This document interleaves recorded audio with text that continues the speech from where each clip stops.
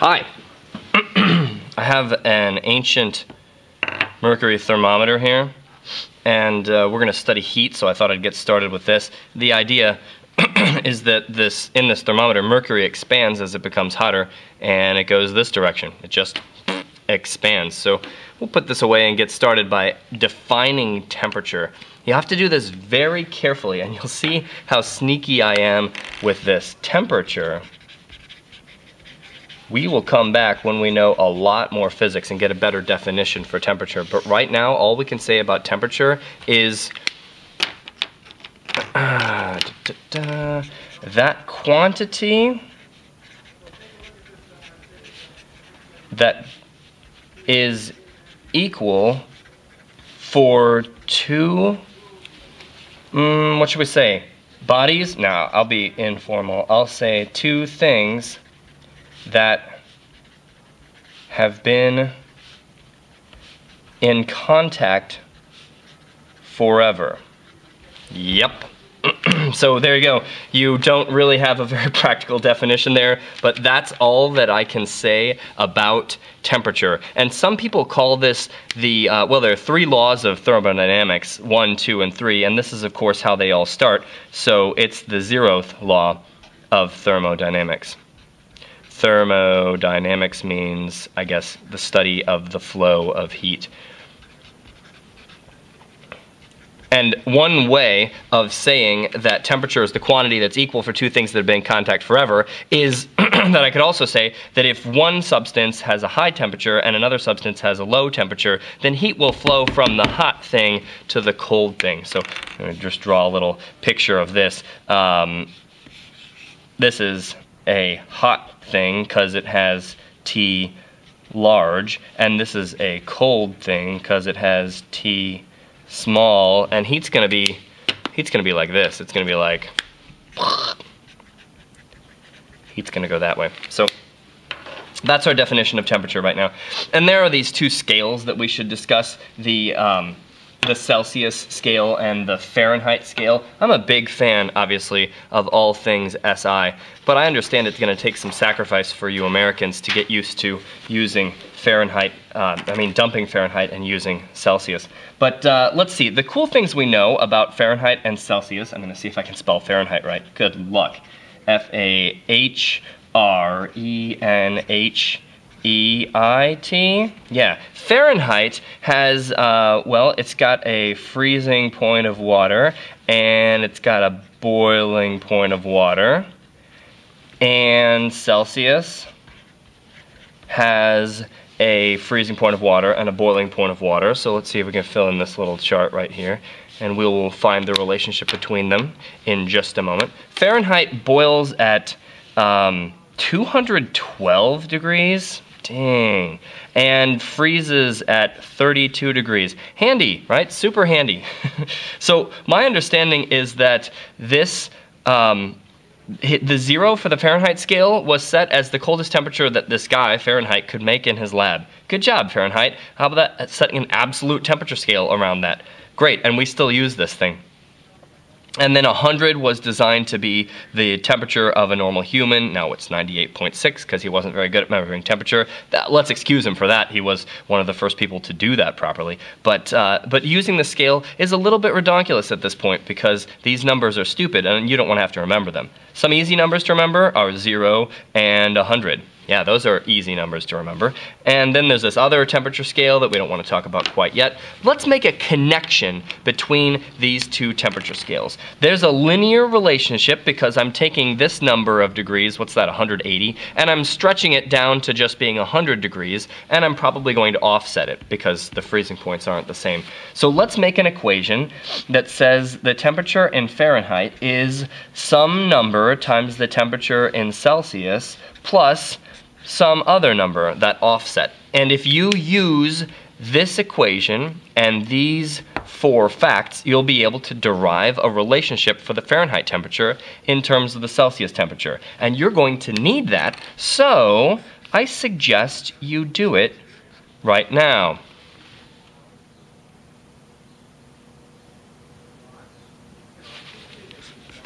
Let's presume that you've already done it, and we can continue.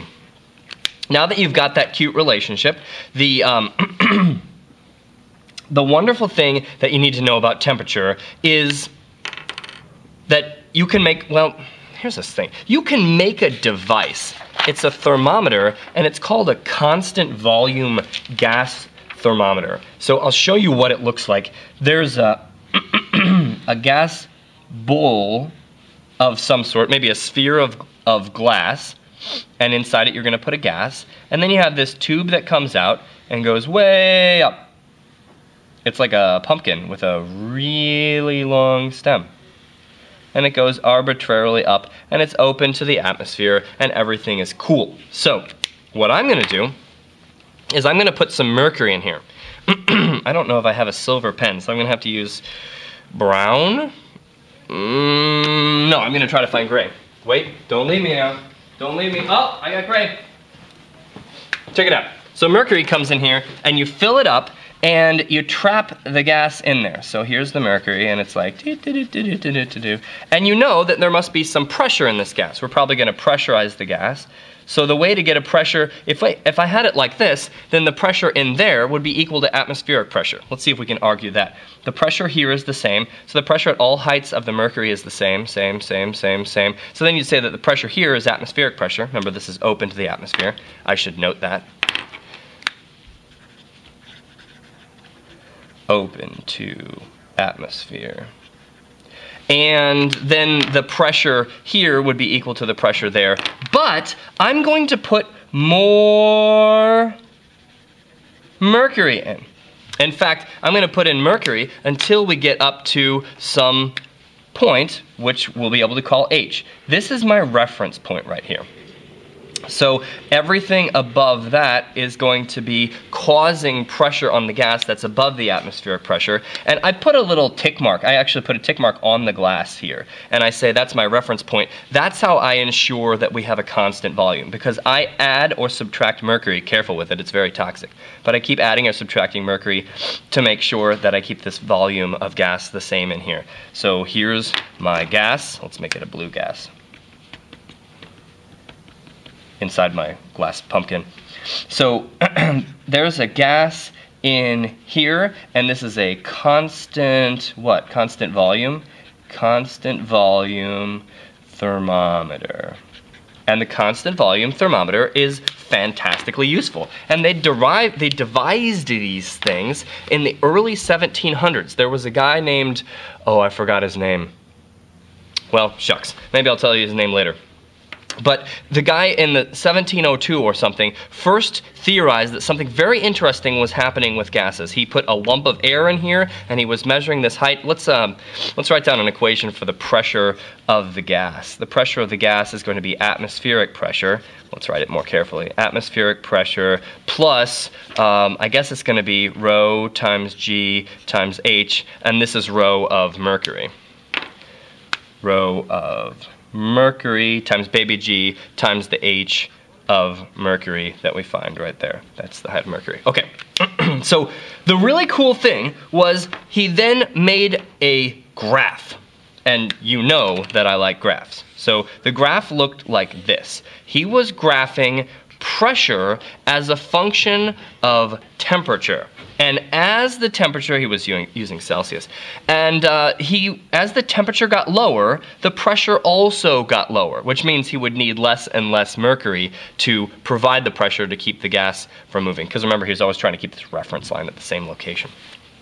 So he's starting here at room temperature, and he's getting colder, and he's getting colder and he went even below yeah this was past Fahrenheit so he went even below zero in the Celsius and he got a little colder and then the air turned to a liquid so it went pressure dropped to zero.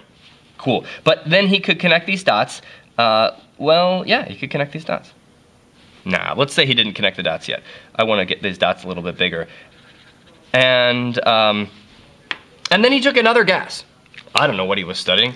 Maybe he got uh, get some argon or something. That'd be cool. And he uh, he found. Uh, I'm actually just throwing these numbers out here. I have no idea. He tested at the same temperatures though, and it was interesting that he also found these guys to um, to follow this strange pattern, but maybe it uh, it liquefied at a slightly lower temperature. And so he had these data right here. But as he was going, notice it, it would liquefy. And that's a little bit frustrating, but it, you know, it is what it is. And then he might take this other gas, which natively had a, an even lower pressure. Maybe he got some hydrogen or something, um, something very simple like that. And he found it to do this kind of thing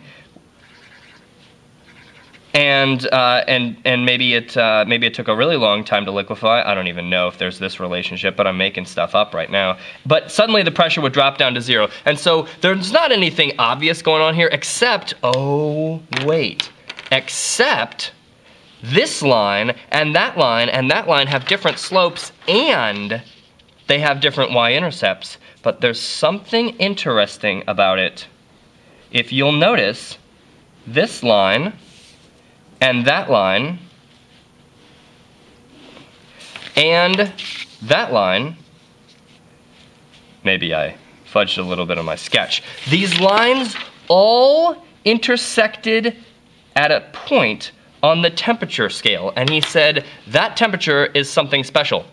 He's saying even for the toughest, most fightinest gas that might not liquefy, I propose there might even be such a gas that if that if I brought it all the way over here and got the temperature as low as possible, it would stop having pressure. And pressure is referring to movement, right? Pressure comes from motion, and so at this location right here, everything stops.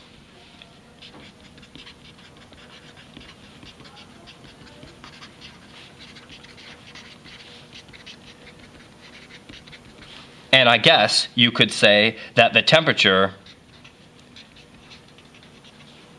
is as low as it gets. Some people might call it absolutely low.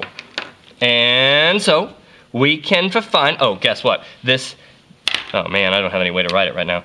Between here and here is 273.15 degrees and or I should write I should write Celsius degrees. It's that many Celsius degrees. You know the difference between Celsius degrees Celsius degrees and degrees Celsius. This refers to a temperature and this refers to a temperature change. So that difference there, 273.15 Celsius degrees means that that's the span in between the temperature of zero Celsius and the temperature of absolute zero. And we define the system of Kelvin. We say that temperature in Kelvin is temperature in Celsius plus 273.15. So this is Kelvin temperature, and notice I'm not going to put a subscript on it because that's real temperature. That's the temperature that physicists are interested in.